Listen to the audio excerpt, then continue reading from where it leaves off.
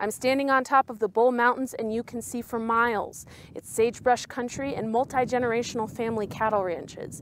But changes in the wind as nearby coal mining operations shift. To look at the bulls, they're standing tall amidst the landscape. Kit Nielsen and Steve Charter ranch side by side in the rolling sagebrush country of the Bull Mountains. They're also brother and sister. For 67 years, the bulls have been our home and our livelihood. Been in love with it ever since.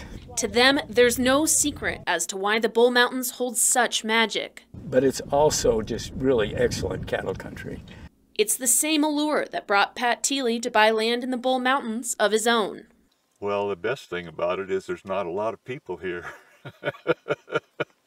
While these ranchers have a love of the land in common, they also have a common fight. If this was a science fiction movie and there was an alien monster that was destroying the land and exhaling poison, some hero would get up and figure out how to kill it. The issue at hand, ranchers say, is a nearby coal mine operated by Signal Peak Energy is damaging land, contaminating groundwater, and canceling long held leases. All tactics, they say, to kick ranchers off their land so the mine can expand. We're not just going to roll over.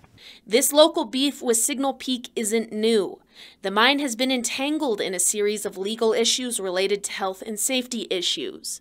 In January 2022, a federal judge ordered the mine pay $1 million in fines after the mine was caught illegally pumping waste into abandoned sections of the mine.